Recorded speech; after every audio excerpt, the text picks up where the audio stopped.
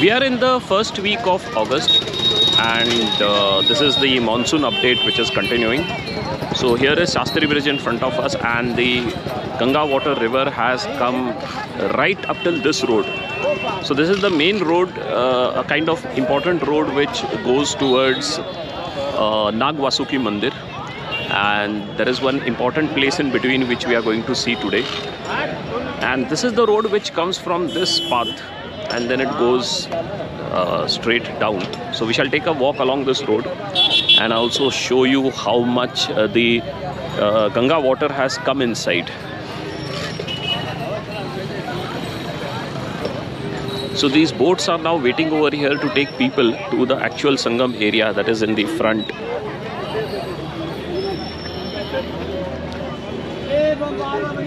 There's nothing special today, but you know, this is uh, what usually Sangam is on a Sunday.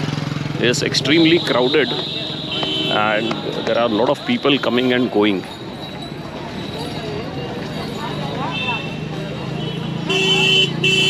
So this is how this path has been submerged.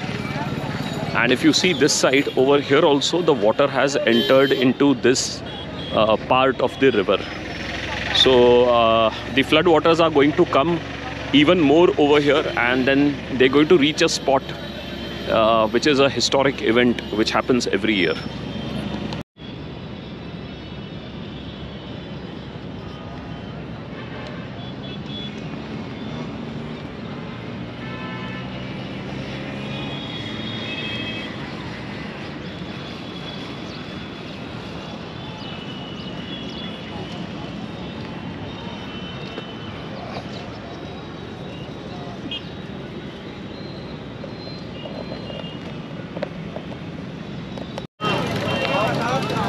So this is that street which goes to uh, Nagvasuki Mandir, which we are going to go afterwards. And this is one road which goes down, and this is one of the side roads.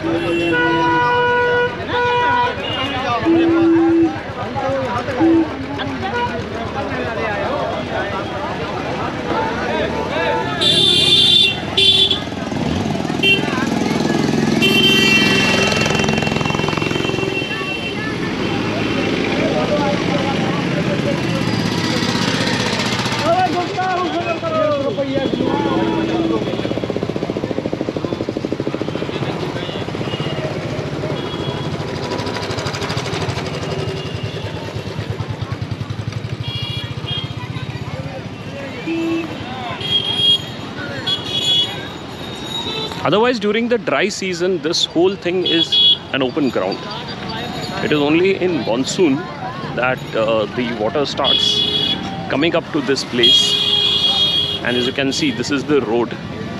And eventually, this uh, small uh, gap is also going to be covered, and the water will come here.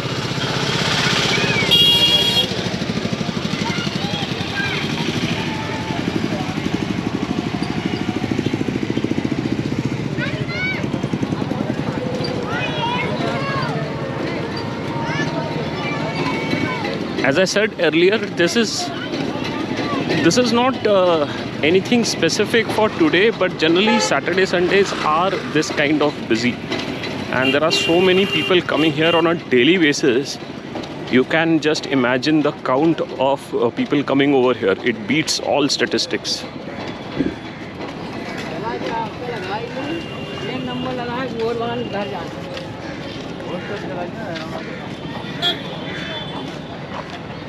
That's really nice. An old couple enjoying the camel ride.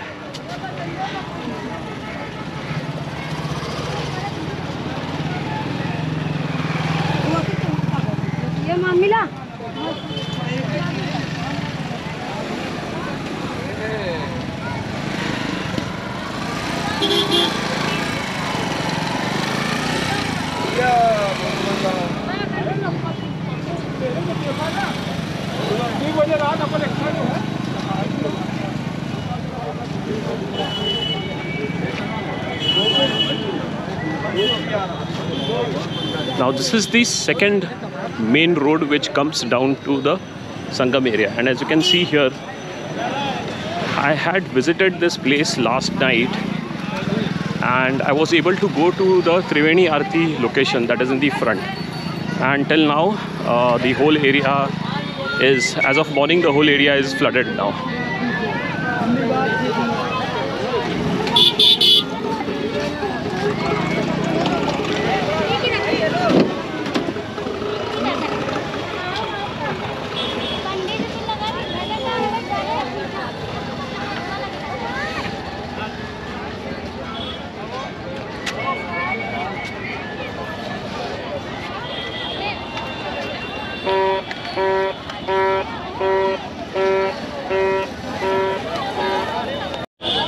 That's the bathing area in the front. We are not going to go there because uh, uh, it might affect the sensibilities of people.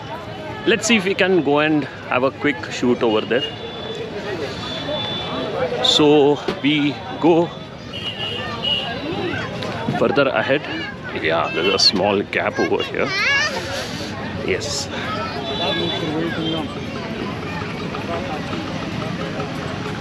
so this is the level of the flood waters. This is uh, again ganga river. It is about to meet the sangam.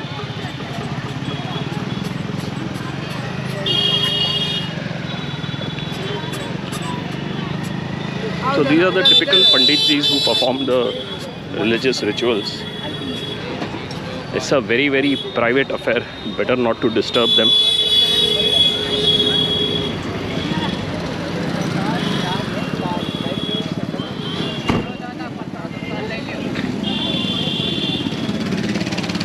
Now we are walking towards two uh, significant temples over here.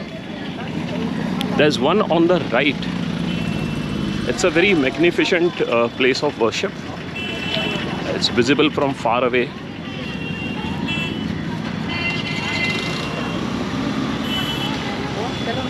You can count four stories and plus one uh, shikhar on top.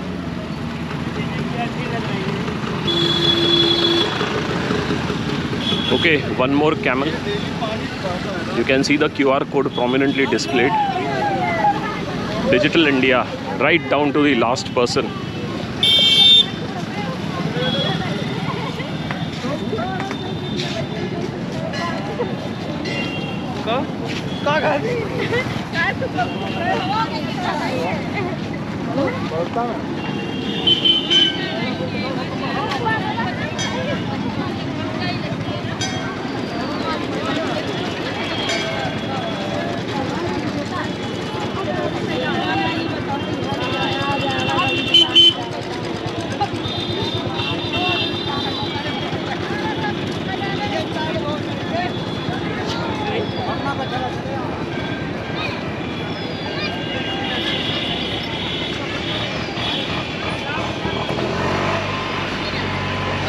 So that's the Sangam area in the far distance.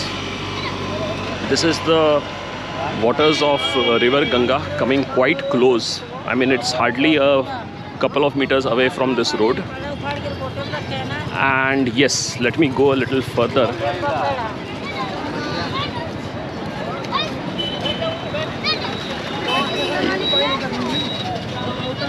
So as you can see the water has come close by it's come quite close. This is very exciting. Once we reach the location then i'll tell you what is the whole thing about.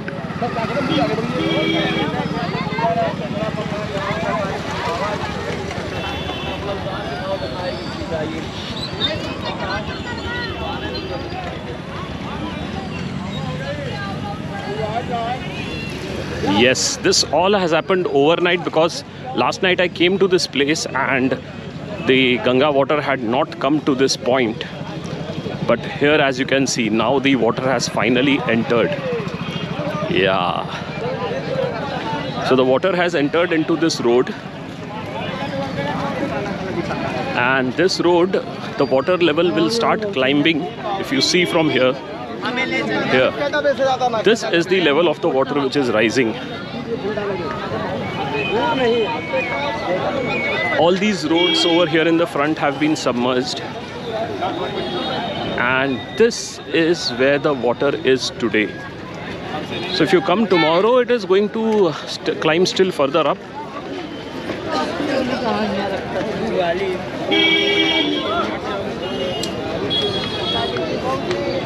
And as the water level rises, this is the most significant event which happens every year.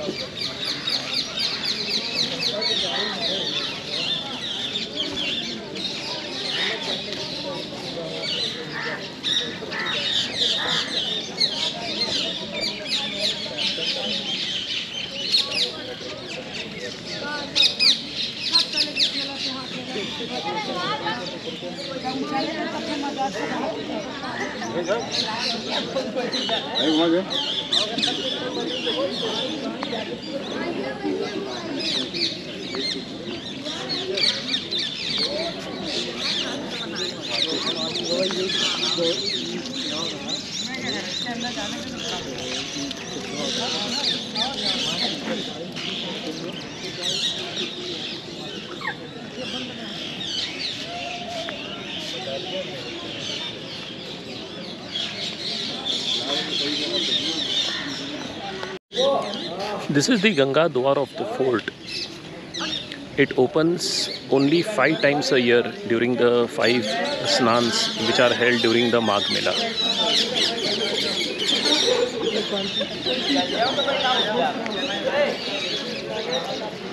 And this is the level till which the water has come. And we are in the first week of August. So there is just this small gap remaining of this road. And uh, I'm pretty sure that during the second phase of flooding, this water will come and touch the walls.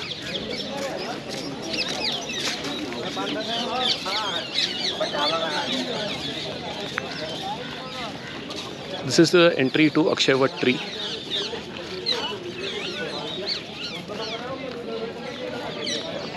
and this complete area has been submerged now.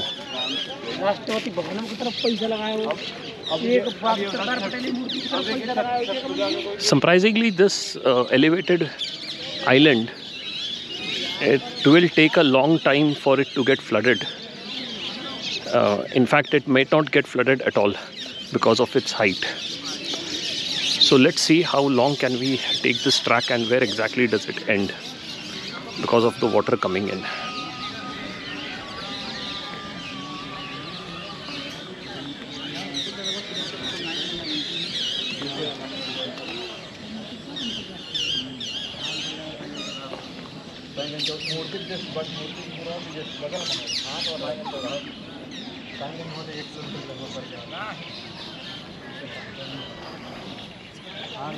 I think this is the end point now. This is a kind of mobile jetty which the uh, people over here uh, have. The authorities they have got these motorboats and also. Otherwise, this mobile jetty is quite distance in the front. They have brought it over here. These guys are always on the duty 24 7 to prevent any untoward incident.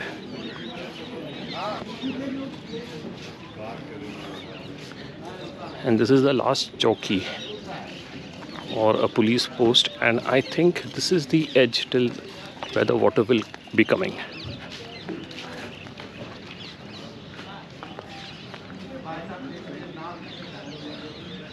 And here is the end.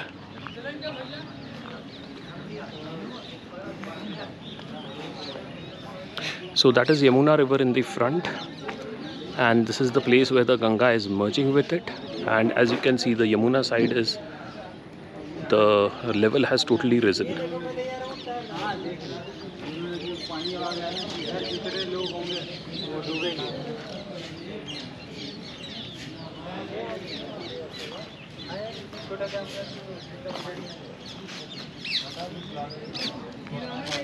These are the walls of the fort built by akbar.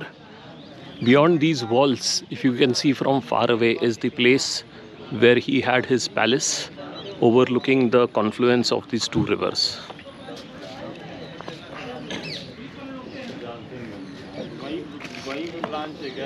We will come back here after a week to see whether this road is submerged or whether the water level holds at this part